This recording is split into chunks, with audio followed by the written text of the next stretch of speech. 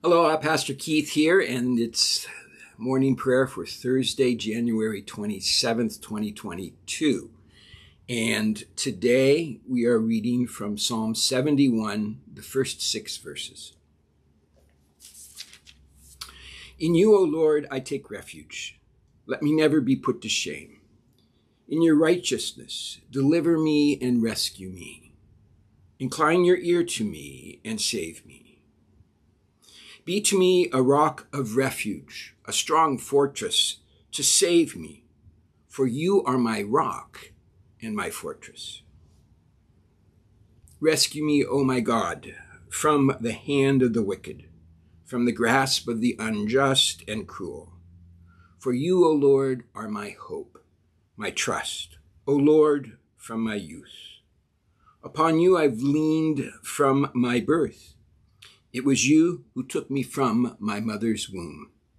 My praise is continually of you. The word of the Lord. Epule kako.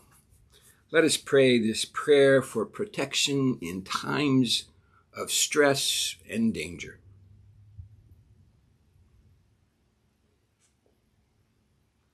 O God, the strength of all who trust in you, we plead this day for your courage and care for those who struggle with famine, war, and pestilence.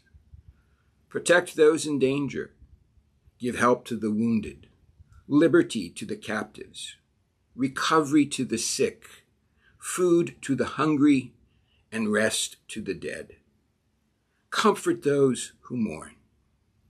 In your mercy, restore us and all people the blessings of peace, for you live and rule eternally.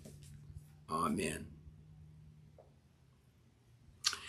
Now may Almighty God, the Creator, the Redeemer, and the Sanctifier, be to you a strong fortress and protection throughout this day and forevermore.